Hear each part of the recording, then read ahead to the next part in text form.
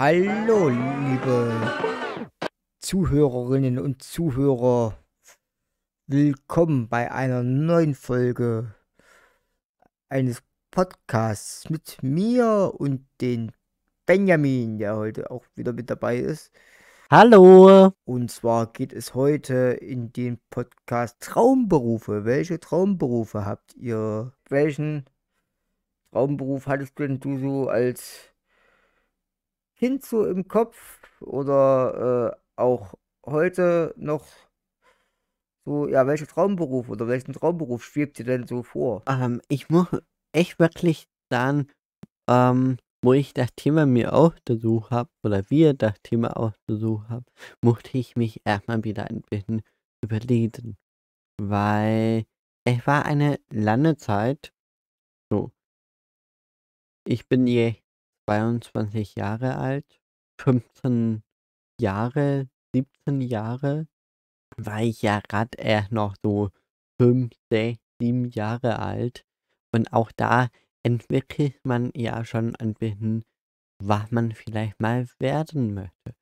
Und ich weiß nur noch, dass ich damals ähm, sehr viel auseinandergebaut habe. Und dann in diese Sache zum Beispiel von einer Karte genauer mir angeschaut habe. Aber was ich nie hinbekommen habe, die Sachen, was ich auseinandergebaut habe, wieder zu, zusammen wieder zusammenzusetzen.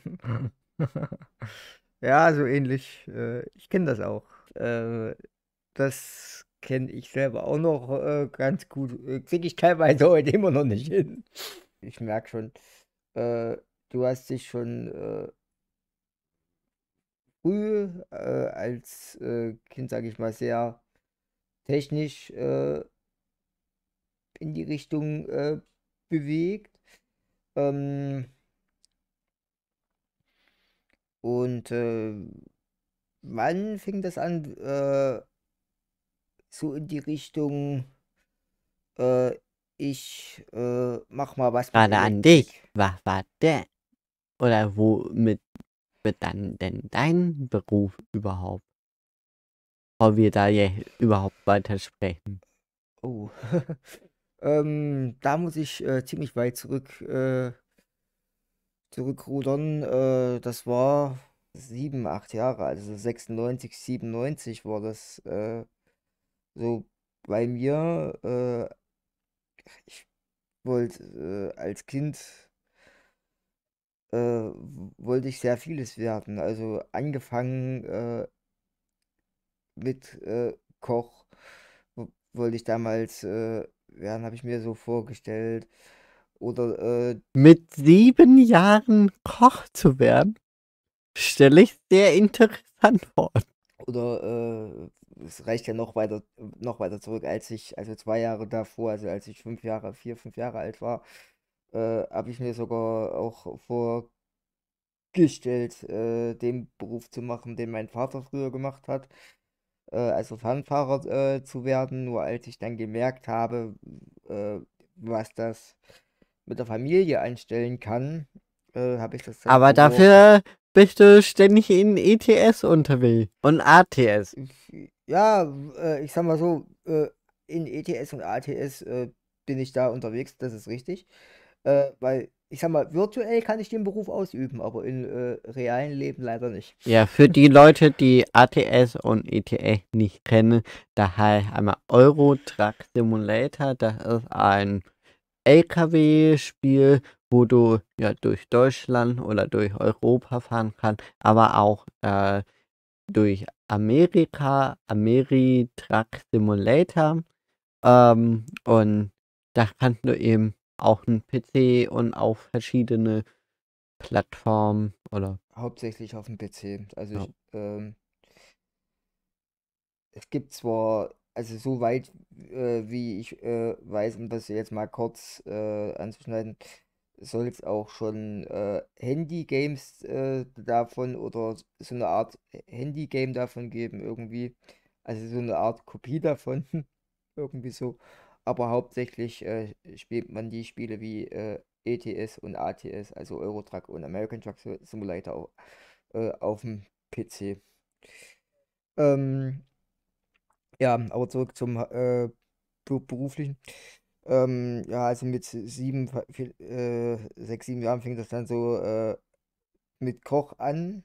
Aber als ich dann so zehn, elf Jahre alt war, äh, und ich hatte ja schon äh, damals, habe ich mich auch sehr viel mit Autos beschäftigt. Ähm, und äh, ich habe auch äh, sehr viel die Formel 1 verfolgt. Und da äh, fing in mir das im Kopf an äh, zu rotieren. Äh, ich möchte Rennfahrer werden. So, und das habe ich dann auch meinen Eltern mitgeteilt, also meiner Mutter. Ähm, und meine Mutter äh, meinte nur zu mir, äh, ich spinn. Es war wirklich so der Wortlaut, Nico, du spinnst. Äh, dann habe ich gesagt, wieso? Äh, ein ganz berühmter Rennfahrer hat das doch vorgemacht, hat Kfz-Mechaniker gelernt und ist dann über den Kfz-Beruf in den Motorsport gegangen. Warum äh, soll ich das auch nicht können? Ja, wegen äh, dein Handicap, wenn da was passiert, das ist gefährlich, pipapo. Ich meine, äh, klar, äh, egal äh, was man für ein Hobby äh, macht oder so, man bewegt sich immer so auf einem gewissen Grad, wo man weiß, das kann gefährlich sein. Du bewegst dich da ja auch in Risiko. Äh, ich sag mal, Felix von der Laden, Dena, ähm, ist ja auch selber Rennfahrer ähm, und fährt da ja auch schon ein paar Jahre. Ähm, natürlich, Ja, ähm, da sind echt andere Sachen, aber man sieht, äh, man kann echt so oder so äh, schaffen, egal ob man eine Kfz-Ausbildung hat oder du vorher Polizist war oder irgendwas anderes war. Ähm, man muss sich einfach nur da reinhängen. Ähm, und du brauchst ein Unternehmen, der dich auch überhaupt nimmt. Und beim Äh.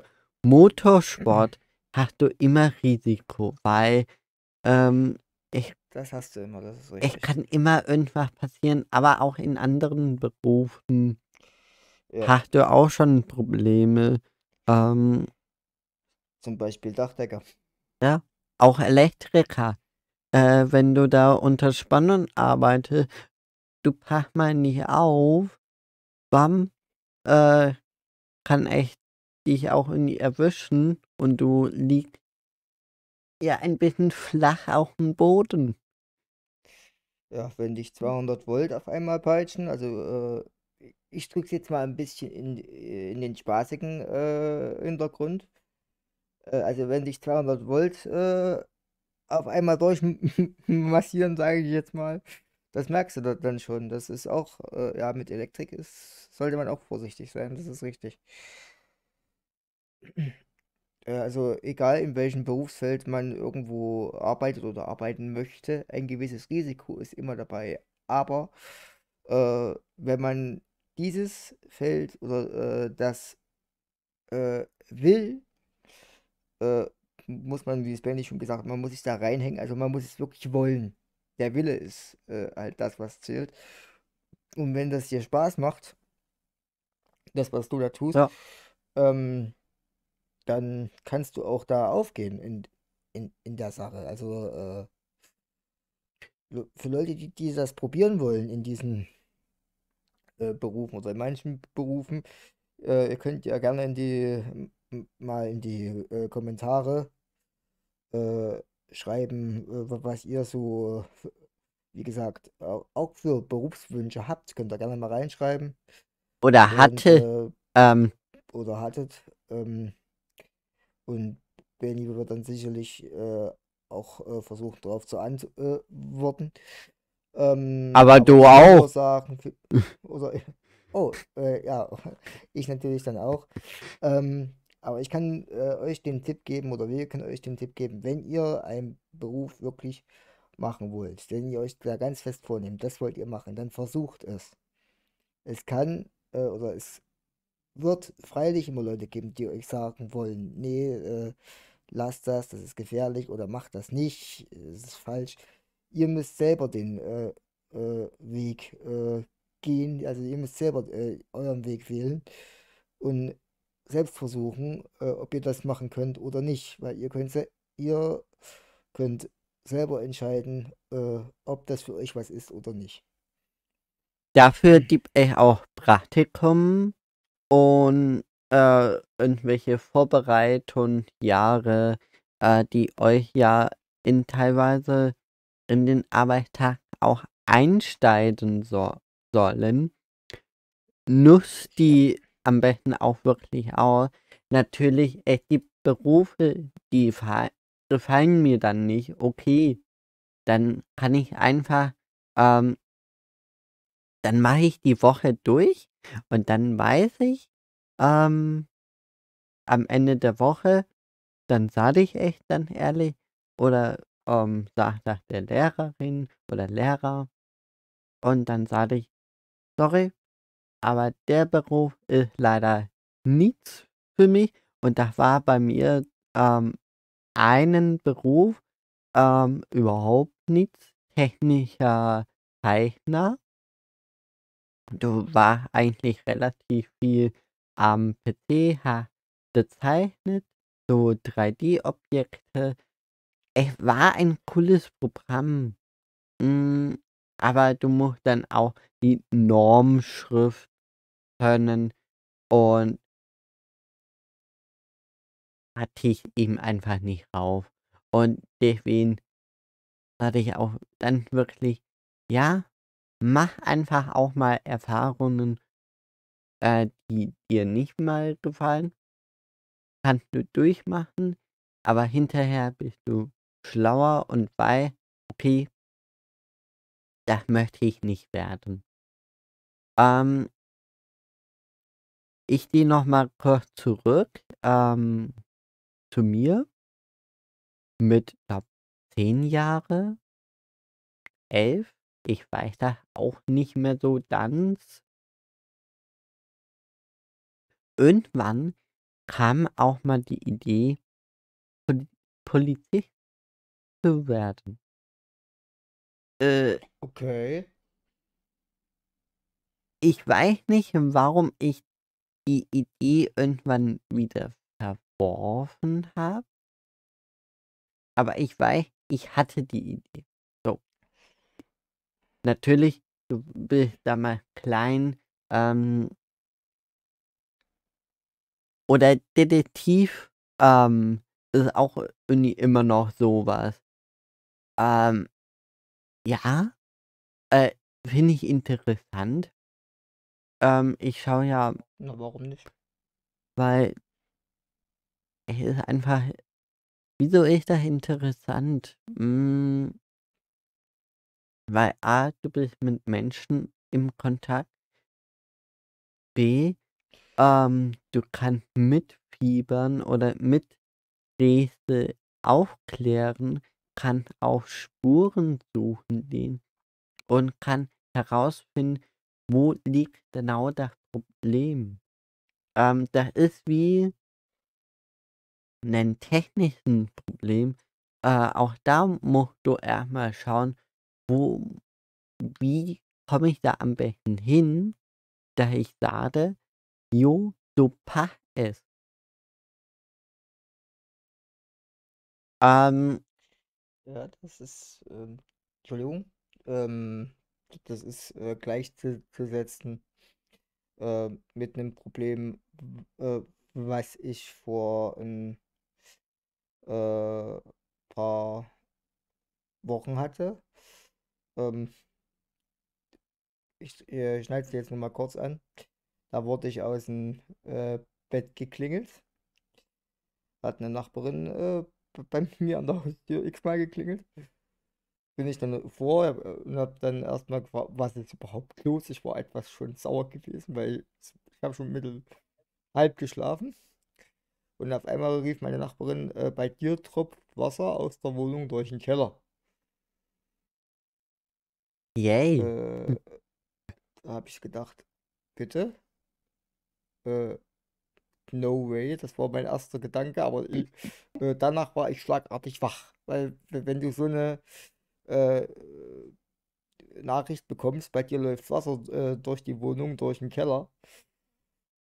Gerade für mich, er hätte die Person noch weiter deklindet, wenn du tief am Schlafen gewesen wäre. Sehr wahrscheinlich. ich meine, äh, ich mein, gut, äh, ich kann äh, äh der Nachbarin echt keinen Vorwurf in, in den äh, Punkt machen. Jeder andere hätte wahrscheinlich einen Feuerlappen oder irgendwas in die Hand genommen und hätte es da rausgeworfen, so nach dem Motto, lass mich bloß jetzt in Ruhe, ich will schlafen. Ne?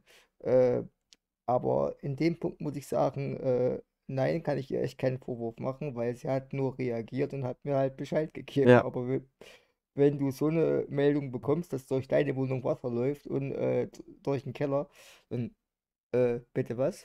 Ja, das ist dann auch keine schöne Sache. Nee, wir hatten auch der Baustelle auch einmal so, da an einem Tag, ähm, ja, dann normal.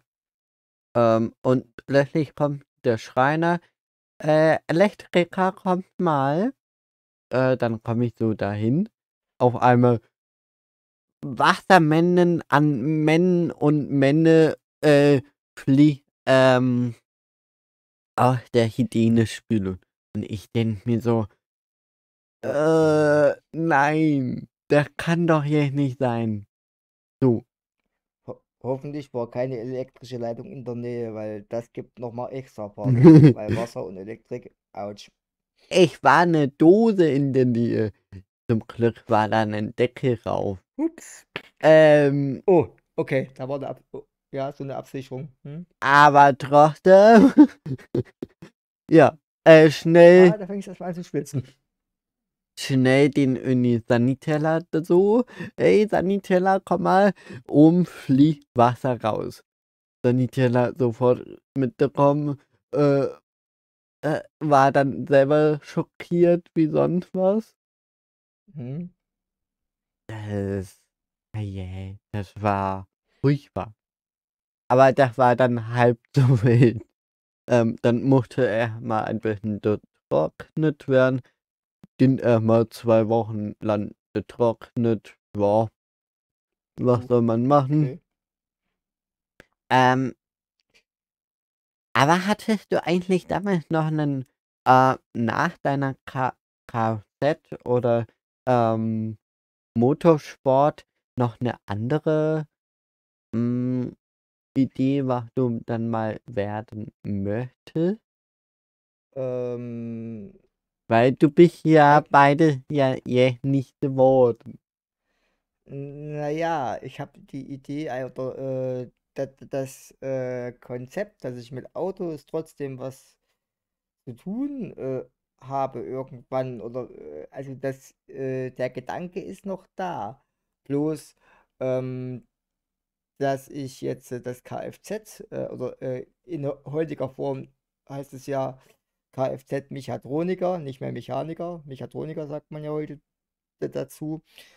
Ähm, das habe ich ein bisschen zurückgestellt, aber mir wurde äh, ein Angebot äh, in Form meines Arbeits, äh, meines Arbeitgebers gemacht, dass ich in einer Autoaufbereitung äh, arbeiten kann. Das heißt, ähm, ich bin dafür zuständig, dass dann äh, die Autos sowohl von außen als auch von innen äh, gepflegt und aufbereitet werden. Also das heißt, ich kümmere mich darum, dass die Autos dementsprechend, wenn sie dreckig reinkommen, sauber wieder rauskommen, sowohl von innen als auch von außen.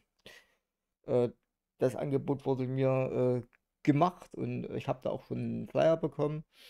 Ähm, und bin dann mal gespannt, wann ich dieses Jahr äh, das Praktikum machen kann.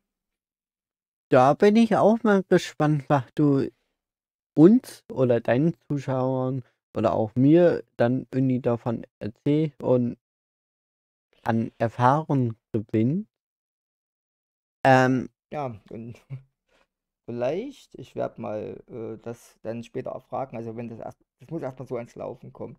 Aber äh, wenn das dann so anläuft und äh, gut funktioniert, werde ich dann mal auch äh, meine äh, Leute fragen, also meine Chefs fragen, ob ich davon mal ein äh, Video äh, vielleicht machen darf und auch kann. Und das stelle ich auch dann gerne zur Verfügung.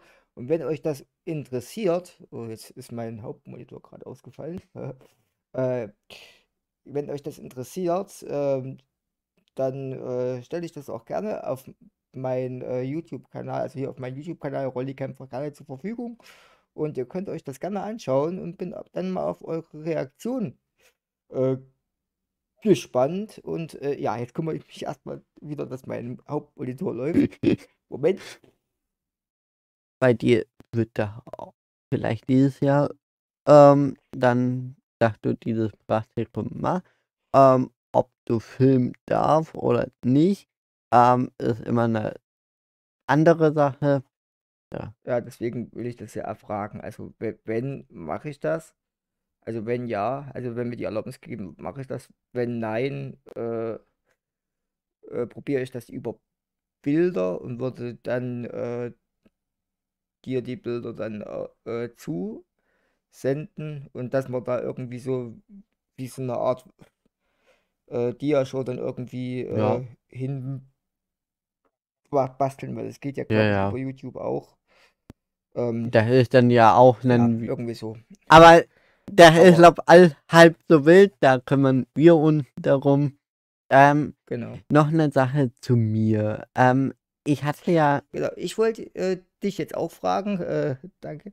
Ähm, was oder äh, hast äh, du noch äh, dann später oder auch jetzt ähm, noch äh, irgendwas Berufliches im Kopf, wo du sagst, äh, das, was ich mache, ist zwar okay, aber ich äh, will auf eine andere Position, also ich will was anderes mal äh, machen, jetzt außer nur Steckdosen, Kabel ziehen und weiß der Geier was.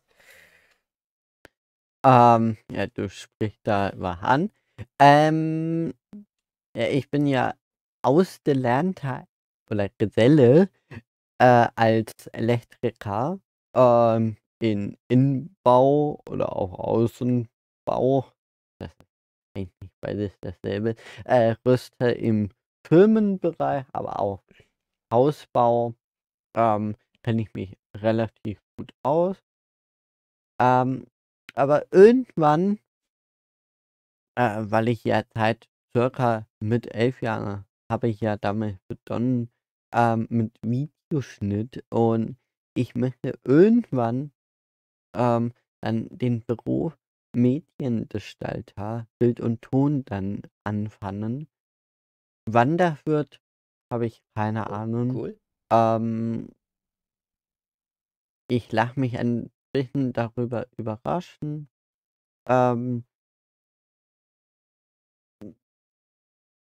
das wird, oder vielleicht wird da auch immer nur ein Traum bleiben, ich weiß das nicht. Aber ich merke daran, unsere Zeit ist schon am Ende. Wir hoffen natürlich, dass euch die Folge heute wieder gefallen hat und bei hm, nächsten Podcast auch wieder dabei seid. Ich habe es jetzt äh, nicht so ganz auf dem Schirm, um was es da geht, aber äh, ja, das äh, nächste Mal sprechen wir über die Zeitumstellung.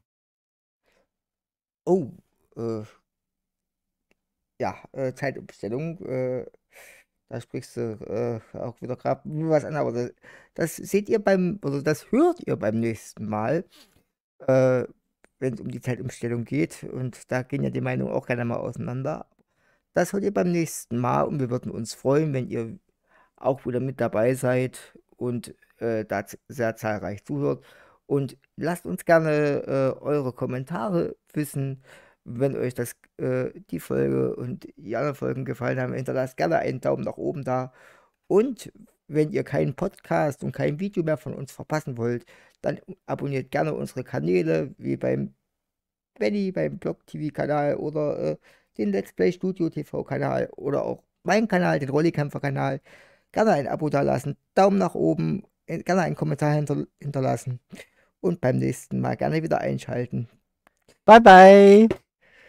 Bye bye.